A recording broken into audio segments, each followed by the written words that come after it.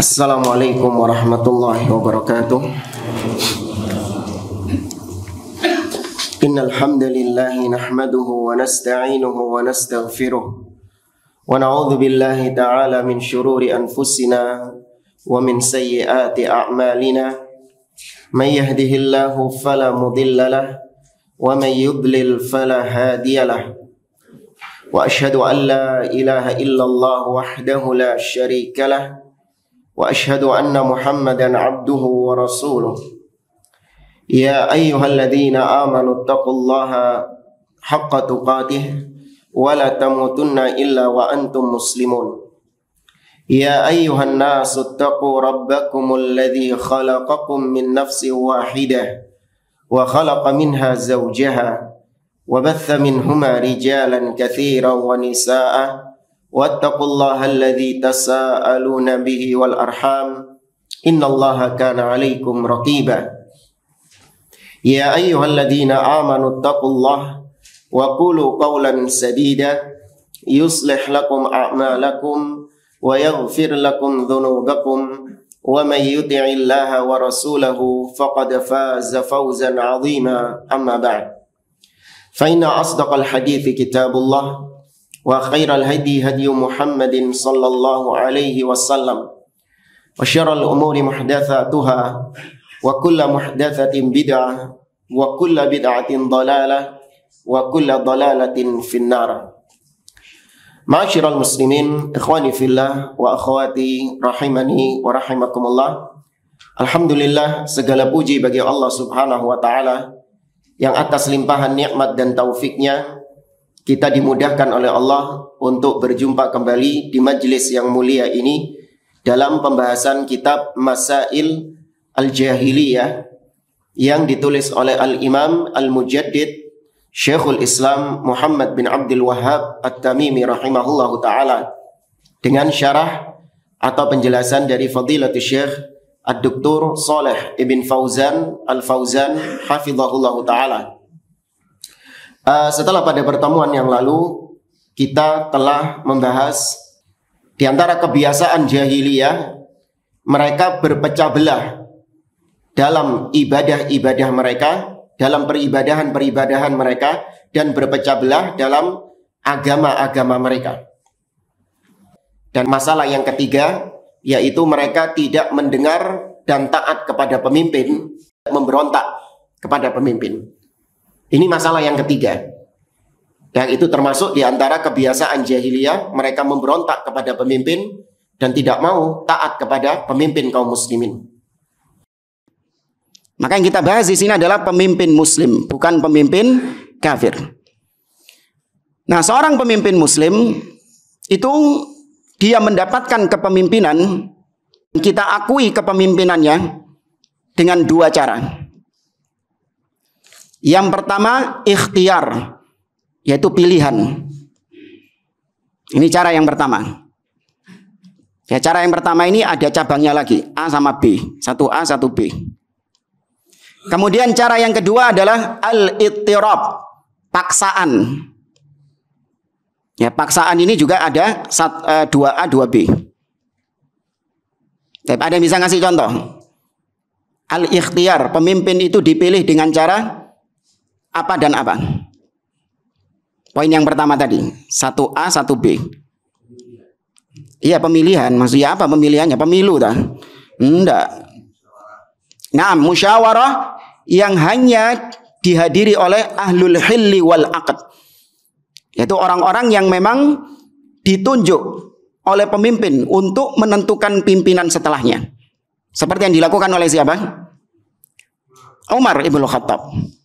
Ya, Umar ibnu Khattab mengatakan ini stakhlaftu faqad istakhlafa man huwa khairun minni. Wa in taraktu faqad taraka man huwa khairun minni. Kalau aku menunjuk pemimpin, maka sungguh ini telah dicontohkan oleh orang yang lebih baik dariku. Siapa orang pemimpin yang langsung menunjuk pemimpin setelahnya?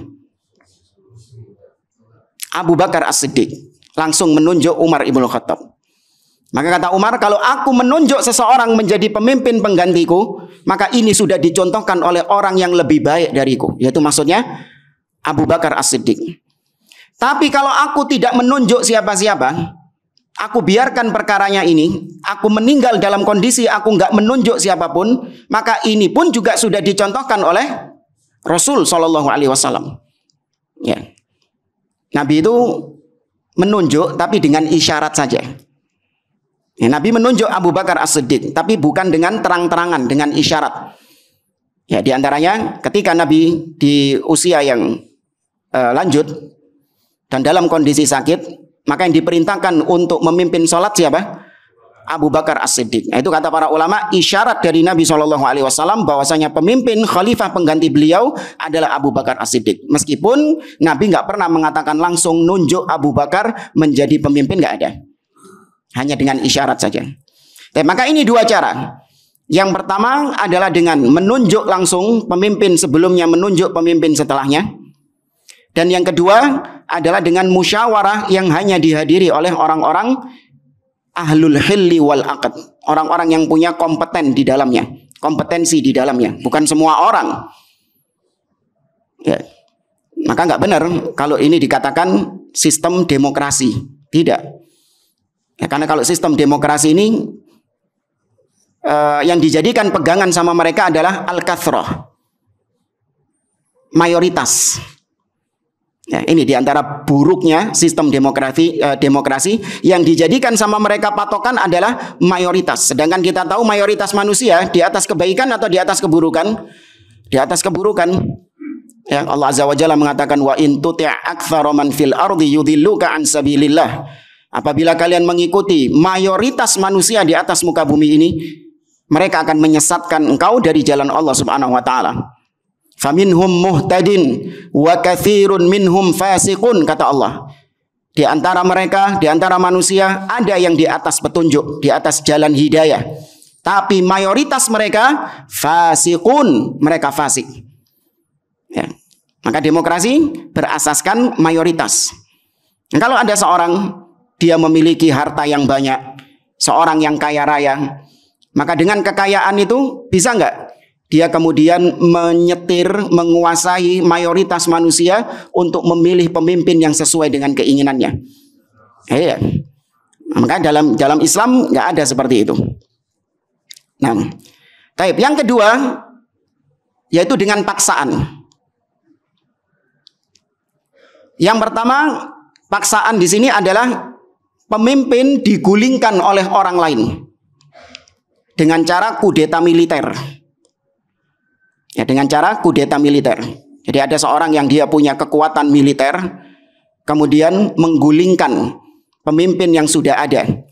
Sehingga naik pemimpin yang baru ini, yang memberontak ini, dia sudah resmi naik tahta jabatan sebagai pemimpin kaum muslimin. Maka ini meskipun kita katakan caranya tidak benar, caranya tidak syar'i, karena yang syar'i yang mana? Yang pertama tadi, satu sama eh, satu A satu satu B itu. Itu yang syar'i, yang kita dukung. Nah, adapun yang kedua ini nggak syar'i itu. Nggak boleh ikut-ikutan antum di situ. Ya, karena itu fitnah. Tapi kalau sudah naik pemimpin yang baru dari hasil pemberontakan tadi, dari hasil kudeta tadi, naik pemimpin yang baru, maka sah kepemimpin, kepemimpinannya wajib untuk kita dengar dan kita taati. Ya, karena demikian dalil yang tadi kita sebutkan, Nabi mengatakan kalian wajib mendengar dan taat meskipun yang memimpin kalian adalah budak dari Habasyah. Budak dari Habasyah, bagaimana dia mendapatkan kepemimpinan kalau dari jalan yang syar'i? Mungkin enggak? Enggak mungkin. Pasti dia mendapatkan kepemimpinan dengan cara yang tidak syar'i. Maka Nabi tetap memerintahkan mendengar dan taat. Tapi ini 2A. Nah 2B mirip seperti tadi. Kalau tadi dengan senjata militer, dengan kekuatan militer. Kalau yang kedua yaitu dengan kekuatan suara. Nah ini apa ini namanya? Ah, kekuatan suara ini apa? Oh, ini sama dengan yang pertama. Kalau yang pertama pakai senjata, kalau yang kedua pakai apa? Pakai paku. Malah iya sih. Pakai paku. Ya, sama. Ini juga cara yang tidak syar'i. Namun kalau sudah naik pemimpin yang dipilih dengan cara tersebut, sepanjang dia muslim, kita baiat dia, kita akui kepemimpinannya, kita jadikan dia sebagai ulil amri. Ya, ini ahlu sunnah demikian sikapnya. Bingung jamaah? Tapi intinya ahlu sunnah tidak melihat dengan cara apa pemimpin itu naik berkuasa. Tapi yang dilihat sama ahlu sunnah adalah apakah dia muslim atau tidak. Kalau dia muslim, cara apa pun yang dia dapatkan dari kepemimpinannya tetap kita anggap sebagai ulil ulil amri. Baik dengan cara yang syar'i ataupun dengan cara yang tidak syar'i. Sepanjang dia muslim kita anggap sah kepemimpinannya. Ya, karena itu yang dituntunkan oleh dalil dan dipraktekkan oleh para salaf. Ya, dipraktekkan oleh para salafus soleh. Ketika Bani Abbasiyah, ya mereka menggulingkan Bani Umayyah, maka para ulama atau para sahabat ketika itu, para tabi'in menganggap sah kepemimpinan Bani Abbasiyah. Meskipun mereka tidak ikut serta dalam pemberontakannya itu. Ya, mereka tidak ikut-ikutan dalam proses pemberontakannya itu tidak, karena itu fitnah. Ya, tapi kalau sudah naik pemimpin, sepakat para salaf ketika itu menganggap kepemimpinan tersebut sah. Ya, tidak boleh dilengserkan, tidak boleh digulingkan. Kata beliau, lima dzalika minal maslahah, minal masalih. Ya, kita wajib mendengar dan taat kepada pemimpin kaum muslimin karena hal tersebut mendatangkan banyak maslahat. Allah berfirman dalam surah An-Nisa ayat 59, "Ya ayyuhalladzina amanu, Allah wa atii'ur rasul wa ulil amri minkum." Wahai orang-orang yang beriman, ya taatlah kalian kepada Allah taatlah kepada Rasul dan pemimpin di antara kalian. Ya, kata-kata pemimpin di antara kalian, kalian di sini kembali kepada ya ayyuhalladzina amanu. Yaitu yang kita taati adalah pemimpin yang beriman. Meskipun dia fasik, meskipun dia zalim. Ya kan ada pembahasannya nanti. Ya kedoliman seseorang tidak menjadikan dia kemudian tidak sah kepemimpinannya. Waduh ini pemimpin saya nggak mau taat sama pemimpin ini. Ya Fulan ini bukan pemimpin saya, nggak sudi saya punya pemimpin seperti itu. Lo kenapa? Iya karena dia ini suka minum khamr. Lo sih minum khamr itu apakah perbuatan kufur atau perbuatan maksiat? Perbuatan maksiat.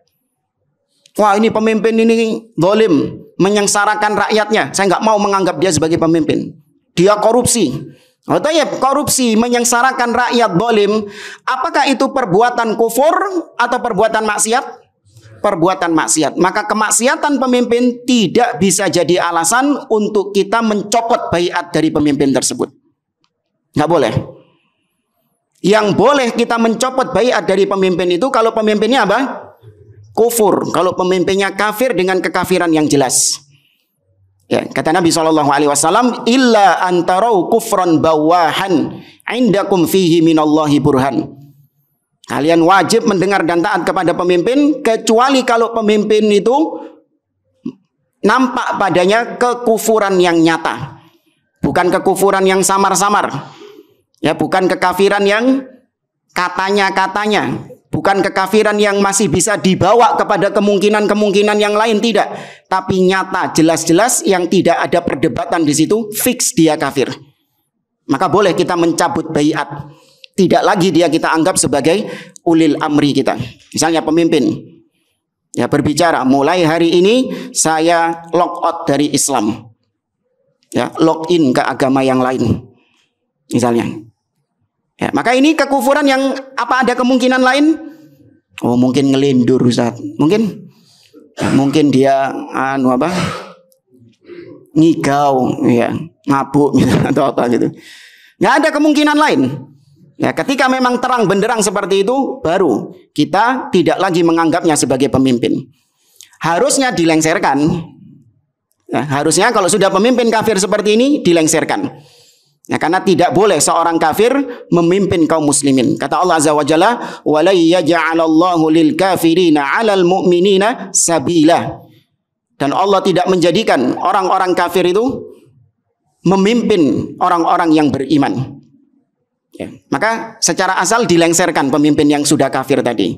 Namun harus melihat istita'ah, kemampuan kaum muslimin ketika melengserkannya. Kalau kaum muslimin memiliki kekuatan ketika melengsarkan pemimpin tersebut dan proses pelengserannya tidak menimbulkan huru hara, tidak menimbulkan kekacauan, pertumpahan darah, kerusakan, maka kaum muslimin wajib melengsarkan pemimpin yang kafir tadi. Tapi kalau ternyata kaum muslimin itu tidak memiliki kemampuan, tidak punya kekuatan karena pemimpinnya ini masih punya dukungan ya, dukungan militer yang kuat, sedangkan kaum muslimin senjatanya cuma apa? Ketapel, ah, watu, panah gitu kan. Sedangkan pemimpin oh, masih punya tank, rudal. Ya, kalau yang seperti ini memaksakan diri untuk mencopot, melengsarkan pemimpin yang kafir itu, maka timbulnya apa? Banyak kaum muslimin yang tewas, banyak kaum muslimin yang terbunuh, tertumpahnya darah kaum muslimin. Ya, maka ketika itu bersabar. Ya, bersabar. Tapi meskipun demikian, nggak boleh kita menganggap pemimpin itu sebagai ulil ulil amri. Apa maksudnya ya? Ya, kita bersabar tidak memberontak karena kita nggak punya kemampuan. Ya, karena syariat Islam itu berputar di atas istita'ah kemampuan. La yukallifullahu nafsan illa wus'aha. Ya, ketika kaum muslimin nggak mampu melengsarkan pemimpin kafir ini, maka bersabar, tetap ditaati pemimpin tersebut, namun dalam hal-hal yang ada maslahatnya. Ya, dalam perkara-perkara yang ada maslahatnya. Dan ketika kita tidak taat kepada pemimpin yang kafir itu, maka kita tidak dihitung maksiat. Paham ya? Kalau misalnya antum hidup di Amerika, pemimpinnya muslim atau kafir? Kafir. Secara asal dilengserkan. Mampu nggak? Nggak mampu. Maka antum hidup di sana, antum tidak boleh menganggap presiden Amerika sebagai ulil amri. Nggak boleh. Kemudian yang kedua, ketaatan antum hanya sebatas perkara-perkara yang ada maslahatnya buat antum. Kalau antum tidak mentaatinya, itu tidak dianggap sebagai bentuk kemaksiatan kepada Allah. Boleh. Ya, jadi kalau di Amerika ngelanggar lalu lintas itu bukan maksiat. Ya, nggak maksiat. Beda kalau di negeri kita. Ya, kalau di negeri kita pemimpinnya muslim. Wajib diyakini kepemimpinannya ulil amri minkum. Ya, ketaatan kita kepada pemimpin dalam rangka ketaatan kepada Allah Subhanahu wa taala. Kedurhakaan kepada pemimpin berarti kedurhakaan kepada Allah dan Rasulnya. Ini ayat yang dibawakan sama beliau. Yang nyuruh kita untuk taat sama pemimpin siapa? Allah Subhanahu wa taala dan Nabi Shallallahu alaihi wasallam. Ya, maka jangan dipilih-pilih. Oh saya taat sama Allah dan Rasulnya tok. Kalau Allah nyuruh sholat saya sholat. Kalau Allah nyuruh puasa saya puasa. Allah nyuruh haji saya haji. Maka kita jawab, loh, yang nyuruh haji, yang nyuruh puasa, yang nyuruh sholat, dia juga yang nyuruh taat kepada pemimpin. Kenapa kau cuma taat sama yang ini tok? Allah yang menyuruh taat kepada pemimpin, Nabi yang menyuruh taat kepada pemimpin. Sepanjang itu bukan maksiat kepada Allah Subhanahu wa taala. Karena Nabi mengatakan la ta'ata fi makhluqin li maksiatil khaliq. Ya, tidak ada ketaatan kepada pemimpin dalam rangka bermaksiat kepada Allah Subhanahu wa taala. Ya. Makanya kata para ulama, perkara yang mubah tapi kalau ada perintah dari pemimpin, maka berubah statusnya menjadi wajib. Ya, perkara yang mubah kalau ada perintah dari kaum muslimin berubah statusnya menjadi wajib. Contoh. Ya, lalu lintas itu. Ya. Mau lampu merah berhenti, lampu merah diterabas, Secara hukum agama, apa hukumnya? Hah? Mubah. Secara hukum agama mubah, lampu merah mau mandek, lampu merah mau diterabas, mubah hukumnya. Tapi karena ada perintah dari pemimpin wajib mentaati rambu-rambu lalu lintas, maka hukumnya wajib. Ya, maka hukumnya wajib. Nah, maka sekali lagi ahlu sunnah menganggap ketaatan kepada pemimpin adalah bentuk ketaatan kepada Allah. Kemaksiatan kepada pemimpin berarti kemaksiatan kepada Allah Subhanahu wa taala. Kata Syekh Saleh Fauzan, "Fatajibu ta'atu waliyil amri fi ghairi maksiatillah." Maka wajib mentaati pemimpin selama itu bukan maksiat kepada Allah. Fa idza amara bi maksiatin fala yuta'. Kalau pemimpin menyeru kepada kemaksiatan, maka enggak boleh ditaati. Walakin la yukhalafu fi baqiyatil umur. Namun bukan berarti perintah-perintah yang lain nggak ditaati juga. Ini ada perintah satu dari pemimpin yang berbau maksiat. Ya ada satu perintah dari pemimpin misalnya yang maksiat. Maka satu perintah ini nggak boleh di nggak boleh ditaati. Tapi perintah-perintah lain yang tidak maksiat tetap ditaati nggak? Tetap ditaati. Ya, jangan gagal paham. Gara-gara satu ini wis batal kabeh bayi ati. Enggak. Ya kata beliau tetap ditaati sisa perintahnya la yuta'u fi hadhihi al-mas'alati khassatan allati fiha ma'siyah amma baqiyatul umur fala tuntaqadu bai'atuhu bisababi dzalik wa la yukhalaf madama annahu alal Islam. Adapun perintah-perintah pemimpin yang lain tetap ditaati sepanjang itu bukan maksiat dan tidak boleh seseorang mencabut bayatnya dari pemimpin tersebut gara-gara satu perintah maksiat yang diperintahkan sama pemimpin itu. Tetap dia membaiat pemimpin tadi, menganggap pemimpin tadi sebagai ulil amri. Sepanjang dia masih di atas Islam. Lima fi ta'ati wulatil umur min ijtima'il kalimah.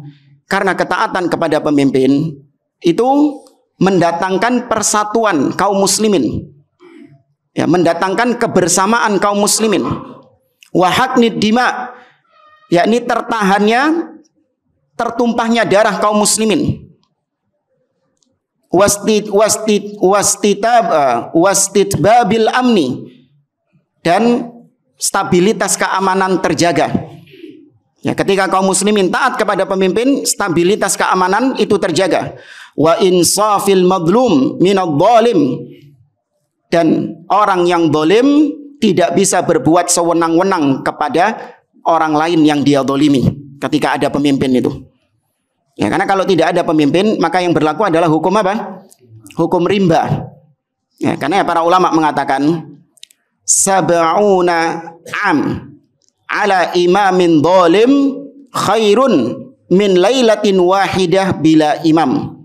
70 tahun hidup di bawah kepemimpinan pemimpin yang dolim itu lebih baik daripada satu malam tanpa pemimpin.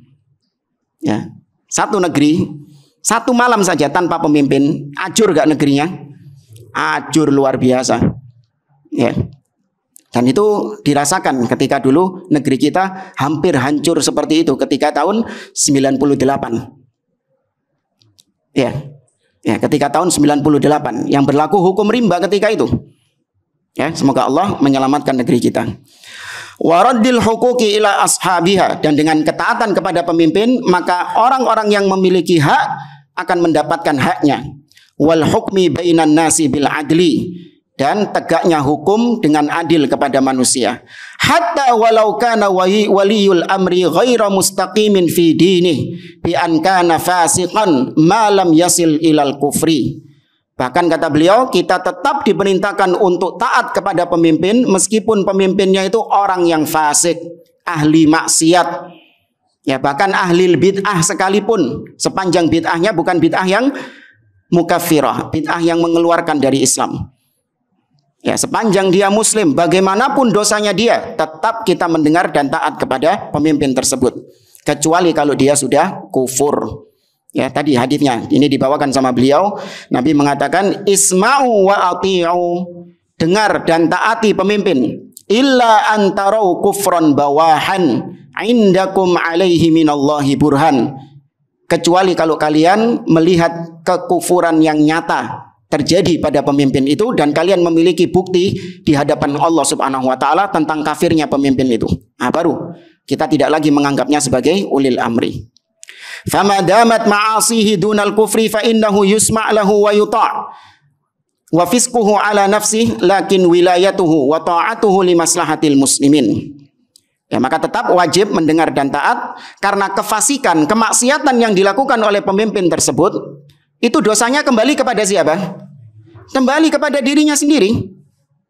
Ya, sedangkan kita tetap diwajibkan untuk taat kepada pemimpin karena kemaslahatan ketaatan kita kepada pemimpin itu kembali kepada kita sendiri. Ya, maka ketaatan kepada pemimpin ini sama seperti ketaatan kepada orang tua. Orang tua meskipun dia ini fasik, meskipun dia dolim, kita tetap wajib taat nggak sama orang tua? Tetap wajib taat. Kedoliman orang tua, kefasikan orang tua, itu kembalinya kepada siapa? kepada dirinya sendiri. Ya. Walihada lamma qila li ba'dil a'immah. Oleh karenanya ketika dikatakan kepada sebagian ulama, inna fulanan fasiqun lakinnahu qawiyyun wa inna fulanan salihun lakinnahu dhaifun ayyuhuma yasluhu lil wilayah. Kalau ada dua orang, yang satu fasik tapi dia ini kuat. Sedangkan yang satu soleh, orang soleh, tapi dia ini dhaif, lemah. Mana di antara dua orang ini yang layak untuk menjadi pemimpin? Maka kata beliau, al-fasikul qawi. Orang fasik yang kuat. Ya. Orang fasik yang kuat kata beliau. Li'anna fisqahu ala nafsihi. Karena kefasikannya itu kembali ke eh, dosanya kepada dia sendiri. Wa quwwatahu lil muslimin. Sedangkan kekuatan dia itu bermanfaat nggak buat kaum muslimin? Bermanfaat buat kaum muslimin. Amma hadha saleh fa inna salahahu li nafsihi. Adapun orang yang soleh ini, maka kesolehan dia untuk siapa? Untuk dia sendiri. Wa dha'fahu yadurrul muslimin. Sedangkan lemahnya dia ini bisa membahayakan kaum muslimin. Ini kalau dari sisi manfaat yang dirasakan oleh rakyat. Tapi kalau dari sisi pemimpinnya tetap yang lebih baik yang mana? Yang soleh daripada yang fasik. Saya ibaratkan gini. Antum ibarat sekarang menjadi takmir masjid yang sedang melakukan pembangunan masjid. Ya, lagi ngumpulin dana untuk pembangunan masjid. Mana yang lebih baik buat antum? Seorang yang donasi 1 M. Masya Allah. Ya, ada orang donasi 1 M tapi riak atau orang donasi seribu rupiah tapi ikhlas.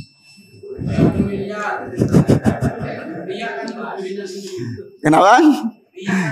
Ah, dapat beliau, dapat poinnya beliau.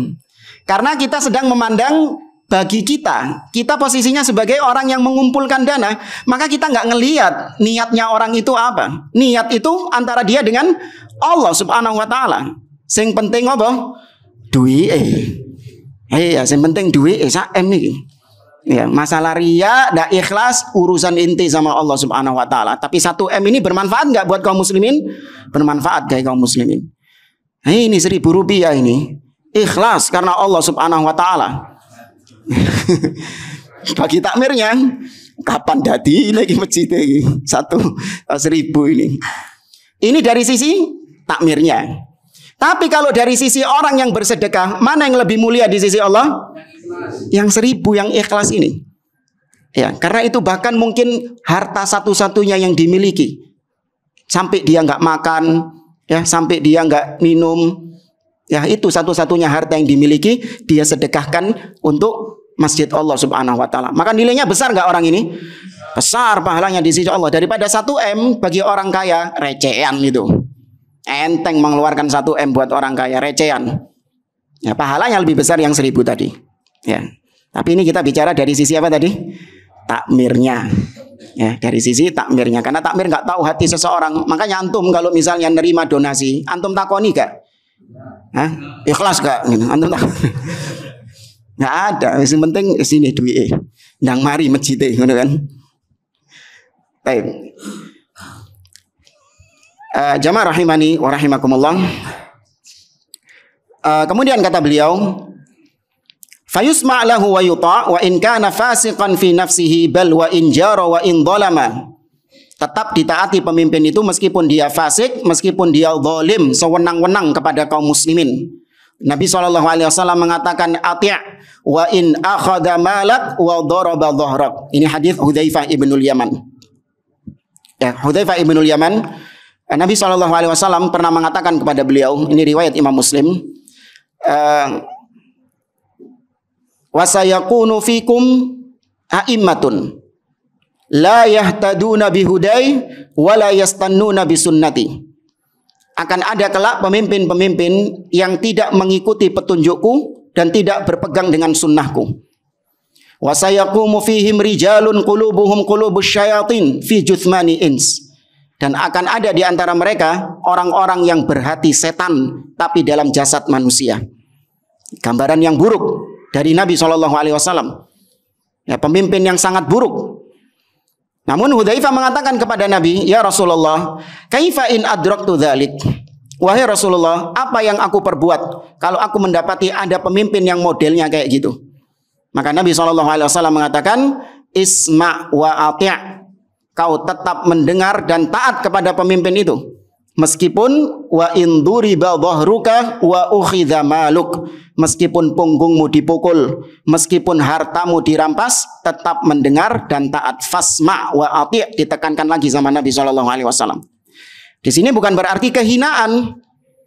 Ya Islam Nabi mengajarkan demikian yaitu untuk meredam terjadinya gejolak kalau antum misalnya didolimi sama pemimpin Kemudian antum provokasi orang lain untuk ikut yang mencaci maki pemimpin, ikut mengkritik pemimpin, maka akan terjadi gejolak di negeri tersebut. Ya, ketika terjadi gejolak, maka terjadi huru hara, pertumpahan darah, sehingga stabilitas keamanan hilang dari negeri tersebut. Ya, sekali lagi bukan berarti Nabi mengajarkan kepada kita untuk menjadi orang yang terhina, dipukul sama pemimpin kok tetap mendengar dan taat, ya dirampas hartanya kok tetap mendengar dan taat. Tidak. Ini sekali lagi untuk menjaga stabilitas keamanan negeri tersebut. Karena keamanan adalah nikmat yang sangat mahal. Hidup di negeri yang aman itu nikmat yang mahal. Ya, bahkan Nabi Ibrahim alaihissalam ketika berdoa untuk kota Mekah, yang pertama kali diminta sama Nabi Ibrahim adalah nikmat aman sebelum nikmat makanan. Rabbi ja'al hadha baladan amina Ya Allah, jadikanlah negeri ini adalah negeri yang aman. Itu yang pertama kali diminta oleh Nabi Ibrahim alaihissalam. Apa manfaatnya kita memiliki rumah yang mewah, makanan yang berlimpah, ya kan, fasilitas yang luar biasa. Tapi ternyata kita hidup di negeri yang tidak aman, hidup di negeri yang huru hara. Ya nggak bisa untuk ngaji seperti ini. Ya menuntut ilmu anak-anak sekolah nggak bisa. Beribadah kepada Allah di masjid nggak bisa. Seperti yang terjadi di negeri-negeri yang sedang gejolak itu. Ya, baru keluar rumah, jangankan keluar rumah, oh wis kau kok keluar rumah. Nah, ya, rumahnya sudah nggak ada. Nah, maka nikmat aman itu adalah nikmat yang harus dijaga. Kemudian di sini beliau mencontohkan tentang pemberontakan kepada Utsman bin Affan radhiyallahu taala anhu. Ya di mana Utsman bin Affan sebelum dibunuh itu disebarkan tentang kejelekan-kejelekan Utsman kepada kaum muslimin. Ini kelakuannya Abdullah bin Saba, orang Yahudi yang berpura-pura menjadi muslim. Mulai disebarkan Utsman bin Affan ini adalah seorang pengecut. Ya, karena dia ketika perang Uhud lari dari peperangan. Benar nggak jamaah? Hmm? Benar nggak Utsman bin Affan kabur dari perang Uhud? Benar.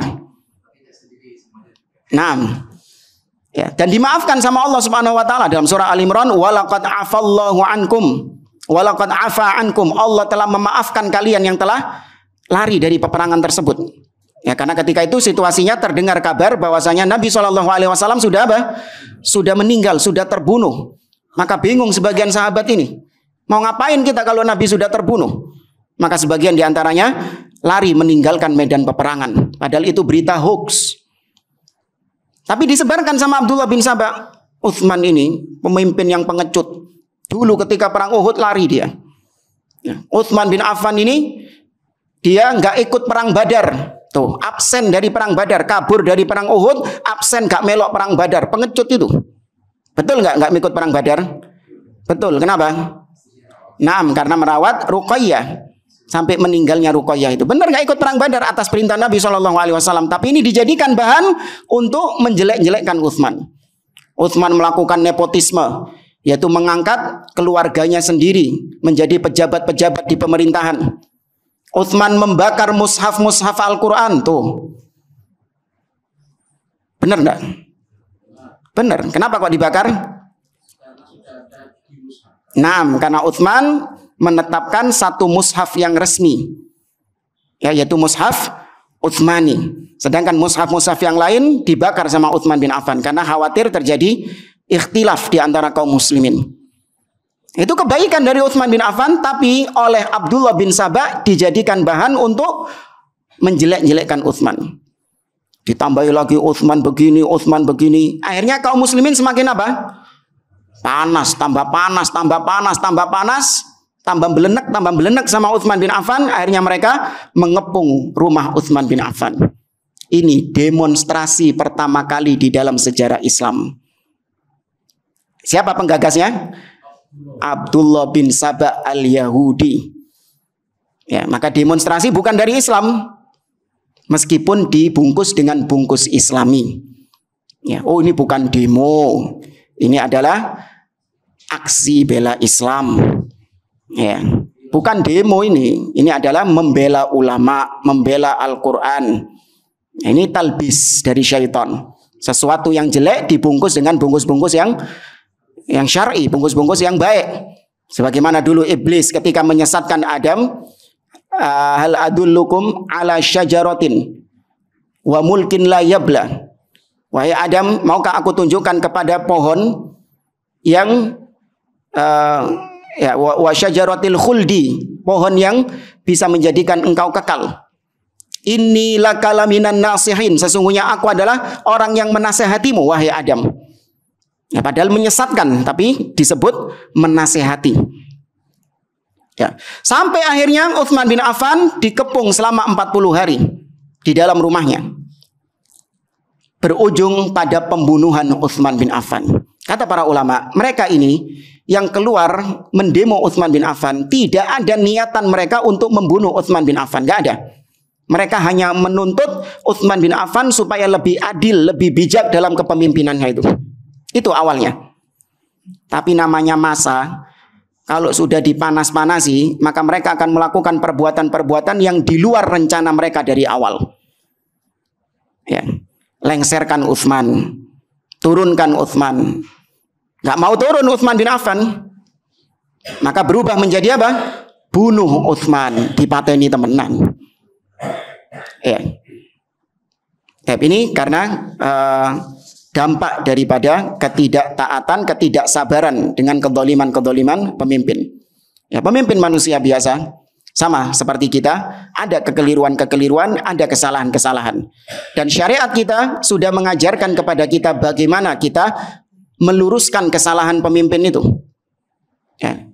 Dan kita tahu dan kita yakini bahwa sebaik-baik solusi adalah solusi yang ditawarkan oleh Islam Sebaik-baik petunjuk adalah petunjuknya Nabi Shallallahu Alaihi Wasallam. Kita kalau kajian selalu kita katakan fa inna asdaqal hadithi kitabullah wa khairul hadi hadi Muhammad. Sebaik-baik petunjuk adalah petunjuk Nabi Shallallahu Alaihi Wasallam. Apa petunjuk Nabi untuk meluruskan kesalahan pemimpin di demo, dicaci maki di depan umum, eh, dikritik di medsos, eh, dibikin memes, ya, kemudian dipajang di medsos, Hah? Gimana caranya Nabi Shallallahu Alaihi Wasallam? Dinasehati langsung secara empat mata. Ya, Nabi Shallallahu Alaihi Wasallam mengatakan dalam hadis yang diriwayatkan oleh Imam Ahmad dari Iyad ibn Gunmin dan juga dalam riwayat uh, Imam ibnu Abi Asim dalam kitabnya As Sunnah Nabi mengatakan man arada ayyan sahalidhi sultanin bi amrin fala yubdi lahu alaniyah Barang siapa yang punya nasihat kepada pemimpin, maka jangan ditampakkan di depan umum nasihatnya itu. Artinya nggak boleh dikritik di medsos, nggak boleh nggak boleh dikritik di mimbar-mimbar bebas, di pengajian-pengajian nggak boleh. Tapi bagaimana kata Nabi? Walakin liya khutbiyadi. Akan tetapi hendaklah dia gandeng tangannya. Wayakhluwabihi dan berdua-duaan dengan pemimpin tersebut. Fa in qabila minhu fadhak kalau nasihatmu diterima, maka itu yang diharapkan. Wa illa kana qad addalladhi alaihi lahu. Namun kalau nasihatmu tidak diterima, maka tugasmu sudah selesai. Kau cuman sebatas orang yang memberi nasihat. Nasihatnya dijalankan atau tidak bukan urusan bukan urusanmu sudah. Ya, nasihatnya dijalankan atau tidak bukan urusan kita. Ada sebagian orang yang bantah. Waduh, Ustaz, kalau cara pakai cara seperti itu gak kira dirungokno. Iya, nggak bakal didengerin sama pemimpin. Masuk telinga kanan, keluar telinga kiri percuma, gitu dia. Nah terus gimana? Eh ini demonstrasi ini. Kita kumpulkan masa yang besar. Nah, kalau gini kan pemimpinnya ketar-ketir. Ya kan? Nah, ini mereka membenturkan hadis dengan apa? Dengan akal. Kalau pakai demonstrasi, ya dikritik di depan umum, nah ini pemimpinnya ketar-ketir, wedi deh.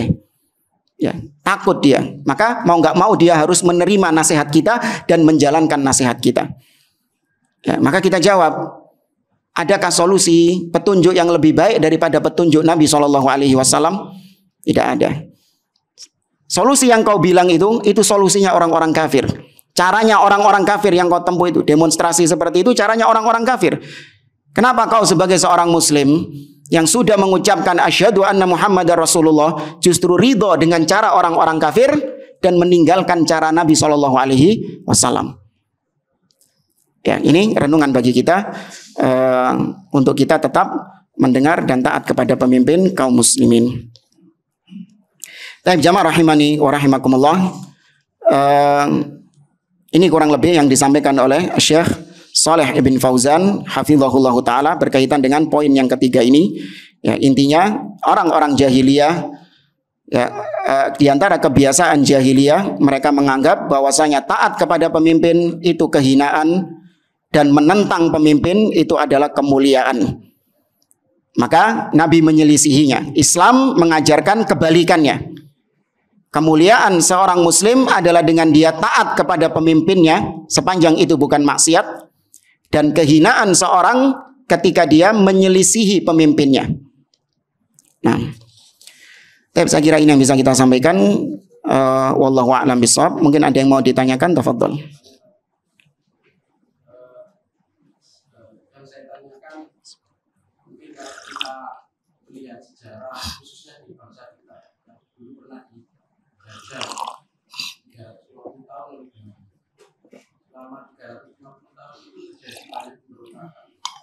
entah itu tokoh muslim, tokoh daerah atau tokoh agama. Nah itu kan penjajah itu rata-rata semuanya kafir. Apakah pemberontakan beliau-beliau itu termasuk diharapkan atau tidak? Itu yang pertama. Cek pertama dulu. Mumpung belum lupa. Iya. Karena jawabannya sudah ngumpul tadi itu. Nanti kalau lebih lama setelah hilang nanti gitu. Tapi Eh, penjajahan-penjajahan dilakukan oleh orang-orang kafir, maka ketika kaum muslimin memberontak kepada mereka, mengusir mereka, maka itu bukan termasuk yang kita bahas di sini. Karena itu dibenarkan di dalam syariat. Sepanjang kaum muslimin memang memiliki apa tadi? Kemampuan, kekuatan. Ya. Memang memiliki ke kekuatan ketika dihitung atau diperkirakan bahwasanya jumlah kaum muslimin sekian, ya jumlah musuh sekian, atau persenjataan kaum muslimin demikian, persenjataan orang kafir demikian. Ya ketika sudah diperhitungkan dengan matang, baru kemudian mereka memberontak. Ya baru mereka melawan orang-orang kafir tersebut yang menjajah tadi. Ini bukan yang kita bahas. Yang kita bahas adalah kalau pemimpin itu muslim. Nah, wallahu a'lam.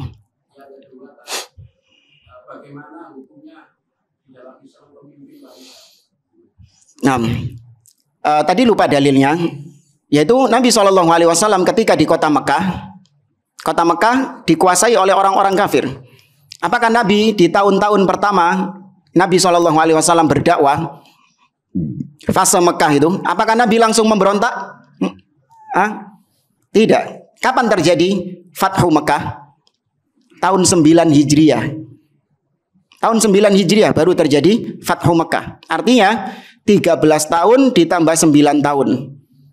Ya, 13 tahun fase Mekah, ya 9 tahun fase Madinah terjadinya Fatu Mekah itu. Nabi Shallallahu alaihi wasallam tidak langsung memberontak kepada orang-orang kafir di kota Mekah.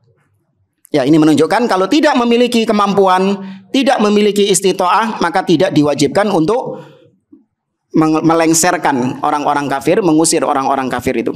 Karena dikhawatirkan terjadi pertumpahan darah. Wallahu a'lam. Bagaimana dengan pemimpin yang melakukan kesyirikan di depan umum? Contohnya mencari hari baik saat pelantikan, memandikan pesawat dengan air bunga dan menggunakan air dari banyak sumber untuk membangun ibu kota baru. Ngikuti antum ya. Anak nggak ngikuti gini-gini. Apa tetap untuk kita wajib taat mengingat banyaknya kesyirikan yang diperlihatkan. Taim. Perbuatan kufur tidak mengharuskan pelakunya langsung otomatis kafir. Ya, kata para ulama, laisa kullu man waqa'a fil kufri waqa'al kufru alaihi. Tidak selalu orang yang jatuh dalam kekufuran maka berarti orangnya langsung difonis kafir. Enggak. Ada namanya iqamatul hujjah, ditegakkan hujjah terlebih dahulu. Di antaranya yang pertama dicek apakah orang itu tahu tentang perbuatan itu syirik atau orang itu jahil, nggak tahu. Ya, dalilnya Mu'ad bin Jabal ketika datang dari Syam menuju ke Madinah, Mu'ad langsung sujud kepada Nabi Shallallahu Alaihi Wasallam. Apa hukumnya sujud kepada selain Allah? Kufur. Tapi Nabi tidak mengkafirkan Mu'ad karena ketidaktahuan Mu'ad. Nabi hanya mengatakan, "Lau kuntu amiran ahadan an yasjuda ahadin ghairallah la amartul mar'ata an tasjuda li zawjiha." Seandainya aku diperbolehkan untuk memerintahkan seseorang sujud kepada orang lain, sujud kepada selain Allah, maka yang pertama aku perintahkan adalah istri-istri sujud kepada suaminya. Tidak dikafirkan sama Nabi. Tapi kalau perbuatannya itu jenis kekufuran perbuatannya. Orangnya tidak dikafirkan karena ada penghalangnya. Apa penghalangnya tadi? Al-jahlu, ketidaktahuan. Kemudian yang kedua adalah al-ikrah, paksaan. Ya, seperti sahabat yang dipaksa mengucapkan ucapan kufur. Siapa? Ammar bin Yasir. Ya, tidak dikafirkan bahkan turun ayat dalam surah An-Nahl man kafara billahi min ba'di imanihi illa man ukriha wa qalbuhu mutmainnun bil iman. Sesungguhnya orang-orang yang kafir kepada Allah setelah dia beriman maka dia akan mendapatkan azab dari Allah kecuali yang dipaksa dan hatinya tetap dalam keimanan, maka tidak dikafirkan. Kemudian yang ketiga, dia melakukan perbuatan kufur itu penghalangnya karena ketergelinciran, ketidaksengajaan, kepleset. Bukan karena kesengajaan. Ya, Nabi menceritakan tentang orang yang kehilangan perbekalannya, kehilangan untanya di tengah gurun pasir. Setelah dicari-cari nggak ketemu-ketemu untanya, maka dia terlelap tidur di bawah pohon. Kemudian ketika dia terbangun, dia melihat unta beserta perbekalannya ada di hadapan matanya dia. Maka orang ini gembira luar biasa. Seraya mengucapkan Allahumma anta abdi wa ana rabbuk. Ya Allah, kau adalah hambaku dan aku adalah Rabbmu. Ini ucapan apa? Ucapan kufur, super kufur lebih kufur daripada ucapannya Fir'aun ana rabbukumul a'la. Iya. Lebih kufur. Tapi apakah dikafirkan dia? Tidak. Nabi mengatakan akhta'a li syiddatil farah. Orang ini salah, keliru karena saking senangnya dia, saking gembiranya dia. Kepleset, ketergelinciran. Ya, maka ini masuk jenis kekafiran yang bukan seperti yang dikatakan Nabi tadi, kufron bawah, bukan. Ini kufur yang masih ada takwil. Ya, kufur yang masih ada kemungkinan-kemungkinan. Tapi ya maksudnya kufrun bawah tadi yang dikatakan Nabi, illa antarau kufrun bawahan, kekufuran yang nyata. Ya, kekufuran yang nyata maksudnya yang tidak ada takwil-takwil lagi. Wis fix pasti, nggak ada kemungkinan lain kecuali dia pasti kufur. Kalau ini ada kemungkinan-kemungkinan lain, ya dia jahil, nggak paham, tentang hukumnya. Ya karena di sekelilingnya itu adalah orang-orang yang su yang punya pemahaman agama yang rusak. Seperti khalifah di zaman Imam Ahmad bin Hambal, khalifah Al-Ma'mun itu punya akidah kufur. Apa akidahnya? Hmm. Al-Quran makhluk. Sepakat para ulama. Barang siapa man qala bi anna al-Qur'ana makhluk Fakat kafar. Barang siapa yang mengatakan Al-Quran itu makhluk, maka dia kafir. Tapi apakah Imam Ahmad mengkafirkan Al-Ma'mun? Tidak. Gak dikafirkan sama Imam Ahmad, bahkan tetap dikatakan sebagai Amirul Mukminin. Ketika didatangkan, Imam Ahmad mengatakan, Ya Amirul Mukminin, wahai Amirul Mukminin. Tetap dianggap sebagai pemimpin. Karena kekufurannya itu masih ada kemungkinan lain, yaitu dia terkena syubhat. Karena sekelilingnya Al-Ma'mun adalah dai-dai su. Ya, orang-orang yang menyimpang di antaranya Ahmad bin Abi Duat, seorang tokoh Mu'tazilah yang menjadi penasehat penasehat raja itu, penasehat khalifah itu. Ya, maka uh, tetap uh, tetap dianggap sebagai pemimpin.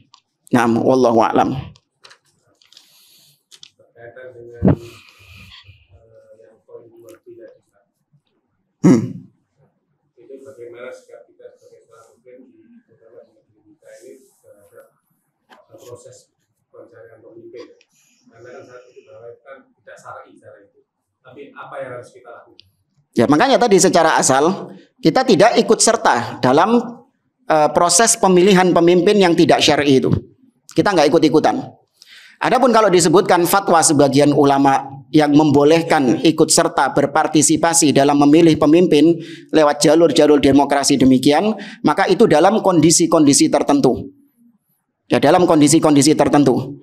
Yaitu ketika ada seorang pemimpin, ya calon pemimpin yang dia ini dikenal uh, baik keislamannya, kemudian track recordnya juga baik.